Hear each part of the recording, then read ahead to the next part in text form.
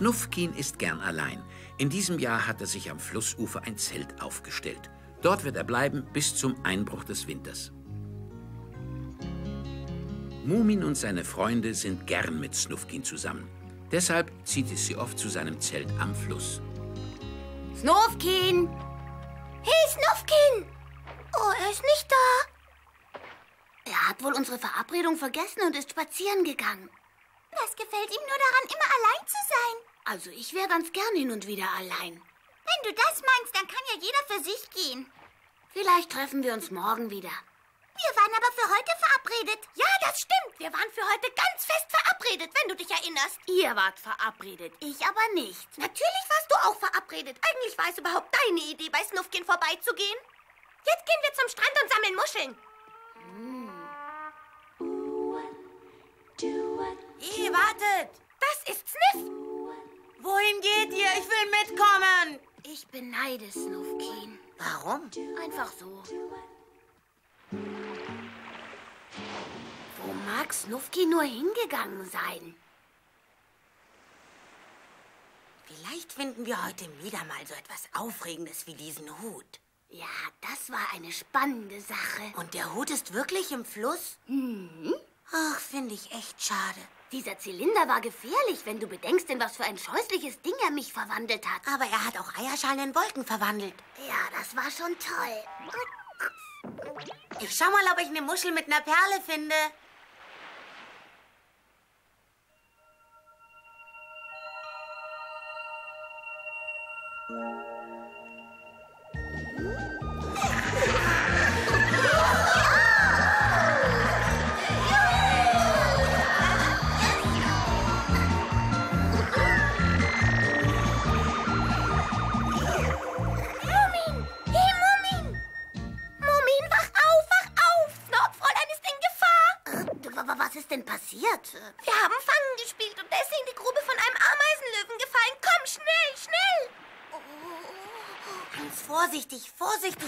Fräulein. Gib mir die Hand, so gib mir doch deine Hand, Sniff. Die Ameisenlöwe. Du willst also meine Grube zerstören, ja? Nein, wirklich nicht. Ich bin reingefallen. Hör sofort auf zu schreien, sonst vertreibst du mir alle Ameisen und ich werde verhungern.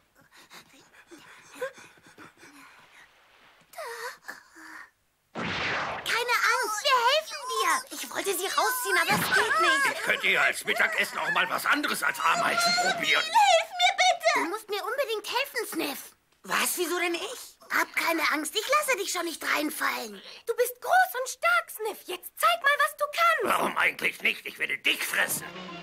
Na los, Sniff. Aber ich, äh, so... Reiß dich zusammen, du müde Flasche. Du bist selber eine... Oh, oh, hilf mich, rutsche runter und der böse Ameisenlöwe wird mich fressen. Halt mich fest, halt mich bloß fest, bitte.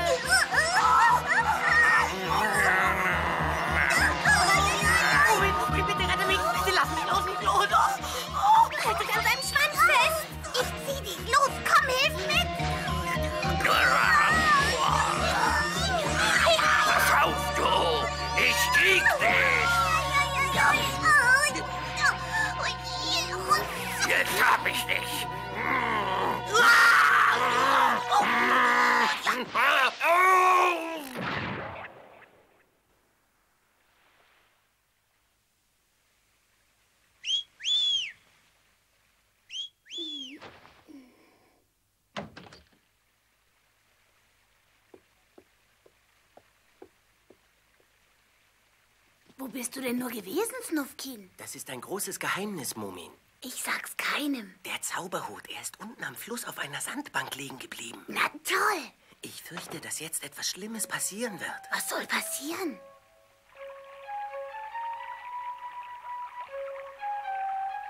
Wir hätten eben einen besseren Platz suchen sollen, als wir ihn weggeworfen haben. Ja, der Fluss war sicher nicht das Richtige. Wir müssen uns was anderes einfallen lassen.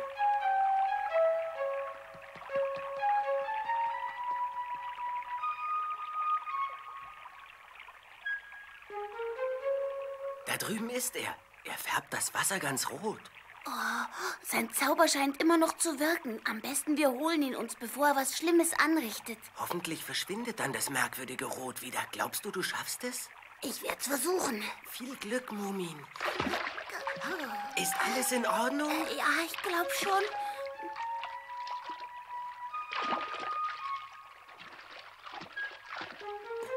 Hast du ihn? Ja, gleich.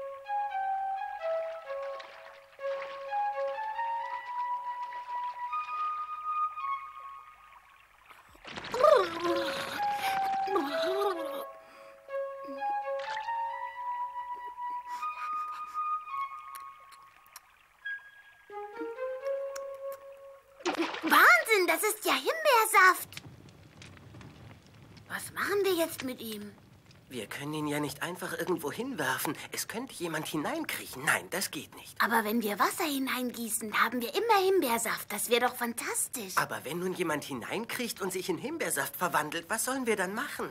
Das muss man genau überlegen. Wir müssen es einfach mal ausprobieren, verstehst du?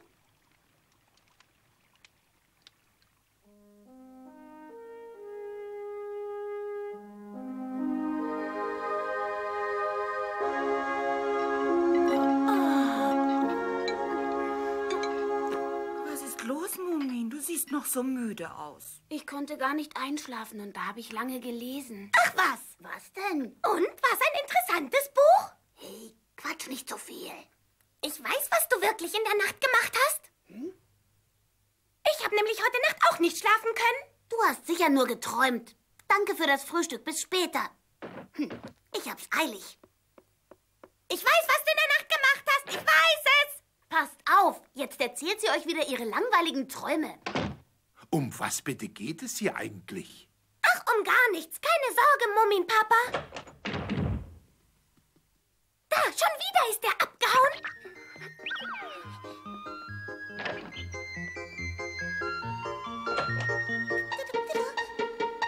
Wenn es um was Interessantes geht, lässt sich Kleinmüh nicht abhängen.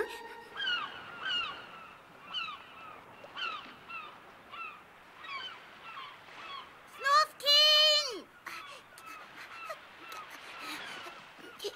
Ich habe rausgefunden, wem der Zauberhut gehört. Ja, und wem? Dem Kobold. Kobold? Ja, der Hemul hat mir nämlich erzählt, er hat den Kobold mal mit diesem Hut auf dem Kopf gesehen. Ganz sicher. Ich habe von einem Kobold geträumt, der auf einem Panther fliegt. Richtig, auf einem schwarzen Panther. Der Kobold ist immer auf der Suche nach Rubinen. Auf seinem schwarzen Panther reitet er durch die ganze Welt und jagt den funkelnden Edelstein überall nach. Dann hat er vielleicht seinen Hut beim Reiten verloren. Das würde bedeuten, dass er auch im Mumintal nach Rubinen gesucht hat. Kann es sein, dass er mehrere Hüte besitzt? Das weiß ich nicht. Vielleicht weiß er nicht mehr, wie und wo er seinen Hut verloren hat. Tja, das könnte vielleicht möglich sein. Also, ich würde gern mal was mit dem Hut ausprobieren. Sei bloß vorsichtig. Was denn?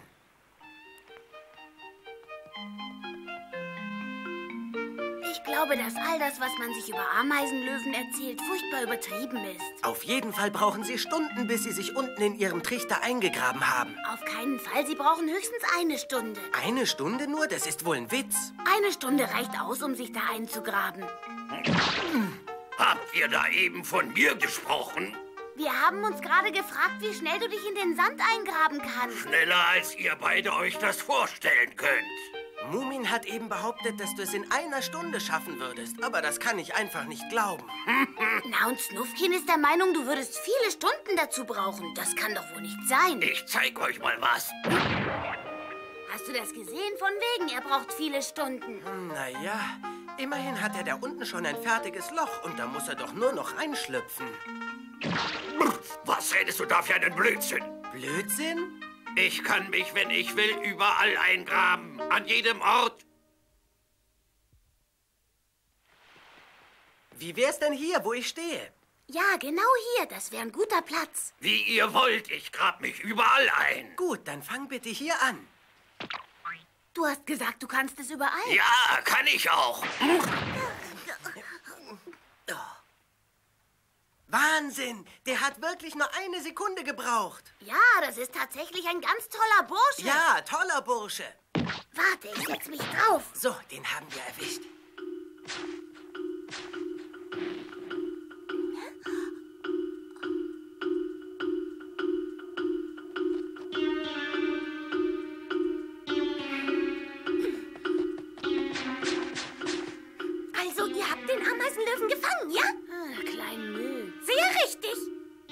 Uns also gestern Nacht hierher gefolgt? Na klar.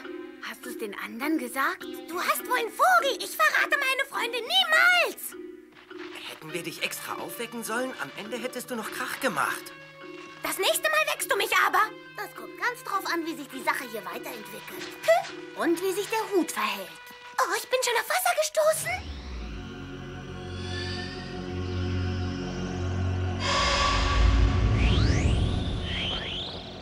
Was, mein Hut ist nirgendwo zu entdecken.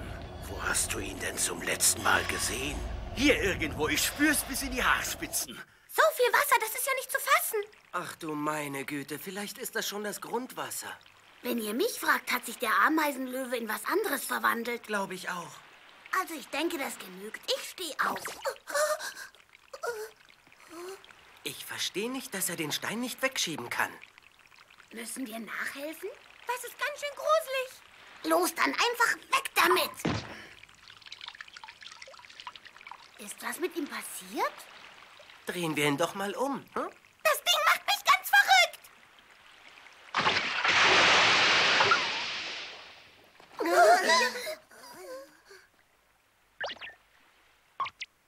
Nanu?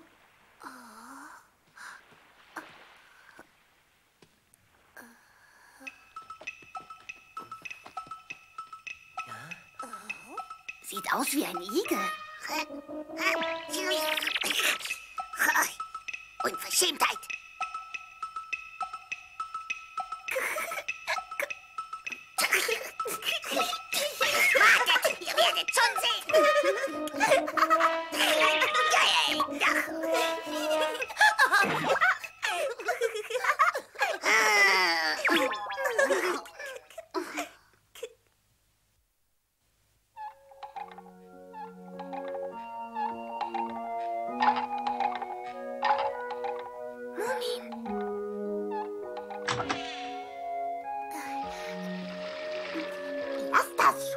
Doch nicht, Klein Müh. Los, beeil dich.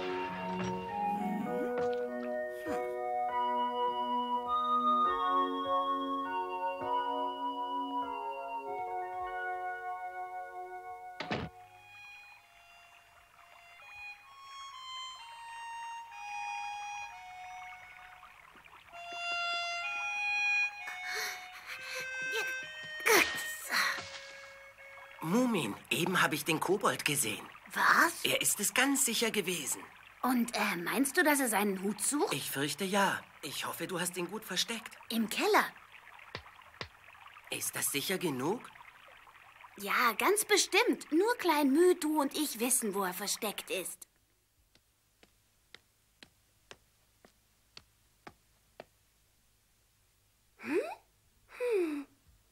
Komischer Faden.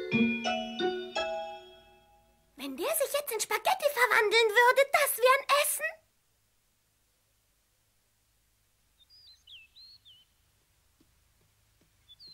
Oh, wie schön. Oh, das gibt's doch nicht. Die hat's aber eilig mit Wachsen.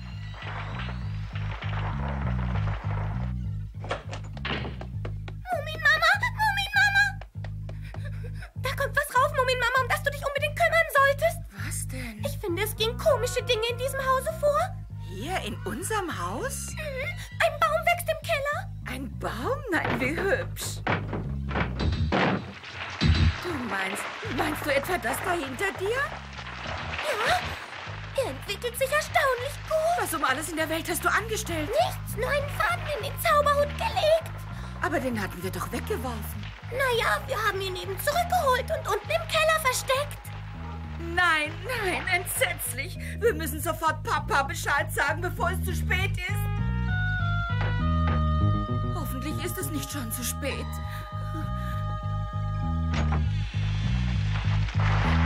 Mach nur so weiter, Baum. Das gibt einen Weltrekord im Schnellwachsen. Und der Muminmama hast ja richtig ein bisschen Angst gemacht.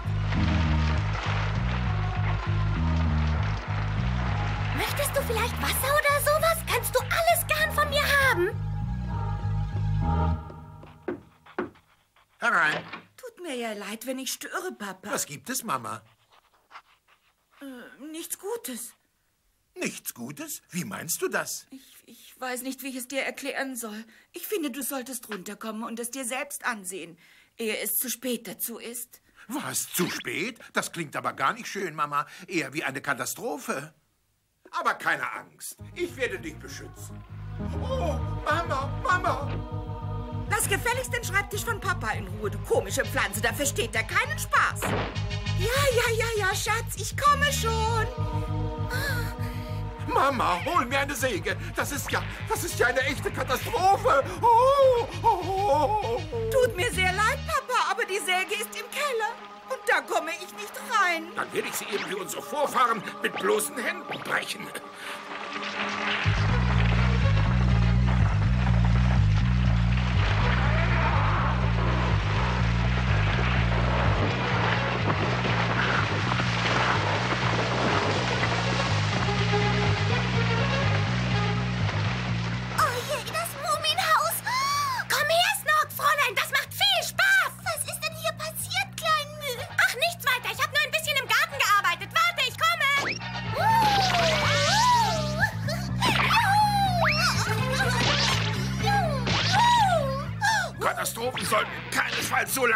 Dass man deshalb aufs Frühstück verzichten muss. Du musst das von der positiven Seite sehen, Papa. Jetzt wird uns auf Jahre hinaus das Brennholz nicht mehr ausgehen. Und diesem Baum wird das eine Lehre sein.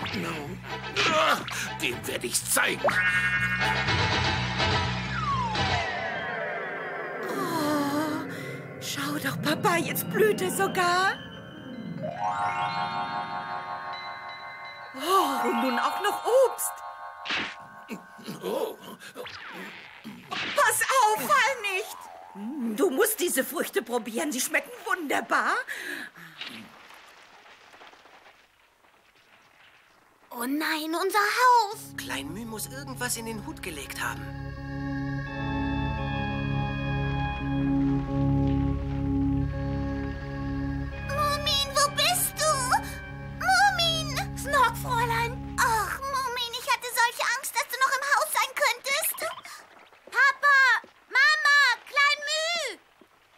Kommen Sie nie raus. Wir brauchen eine Axt oder eine Säge. Das Werkzeug liegt unten im Keller. Wie sollen wir denn da durch die Zweige rankommen? Ach ja, dann suche ich jemand, der uns hilft. Bemühe dich nicht, Kleiner. Oh.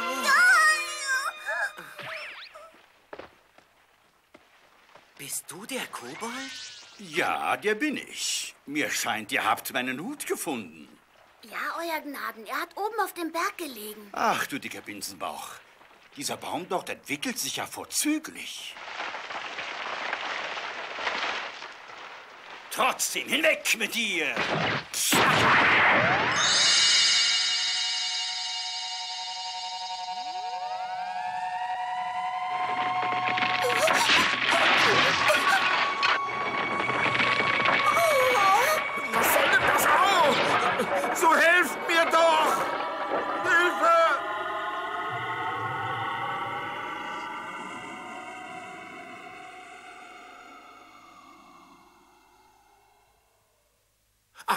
Ihr Hut ist das. Ich muss schon sagen, wirklich sehr elegant. Ich bedauere, dass Ihnen Ärger gemacht hat. Ach, wir sind Ihnen ja so dankbar, dass Sie uns und unser Haus gerettet haben. Sehr freundlich, gnädige Frau. Könnte es wohl sein, dass Sie sich ganz zufällig im Besitz von Rubinen befinden? Denn ich habe gespürt, dass hier Rubine vorhanden sein müssen. Bitte, das ist mein Rubin. Mein Mann hat ihn mir zur Hochzeit geschenkt. Na, lassen Sie sehen. Ein sehr hübsches Stück.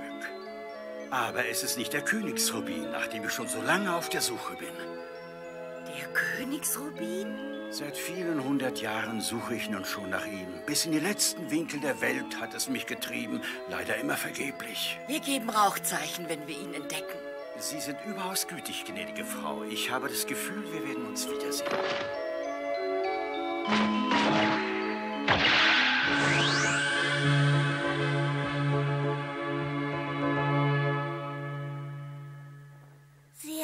Sehr anständig für einen Kobold. Und nun schichten wir alle das Holz auf. Das reicht mindestens für zwei Winter.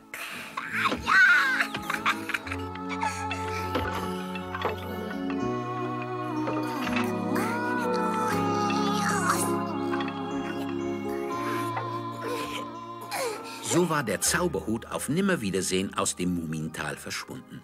Zwar waren Mumins Eltern recht zufrieden, doch Mumin dachte ein wenig wehmütig an den gewaltigen Vorrat von Himbeersaft, der ihm nun entgangen war.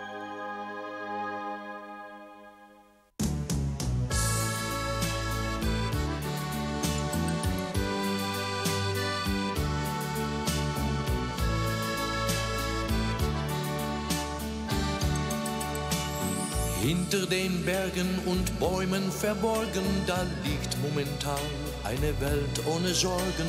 Beim nächsten Mal kommt wieder mit, ich führ euch dorthin. Im blauen Turmhaus hoch unter dem Dach liegt Mumin in Mondschein, ist immer noch wach und freut sich auf den nächsten Tag, was er bringen mag, was er bringen mag. Lieben das Lachen und lieben das Leben, die Mumins. Sie lieben die Wolken und darauf zu schweben, die Mumins. So wundersam schöne Geschichten geschehen in Mumintal, ihr könnt sie bald wiedersehen, die Mumins.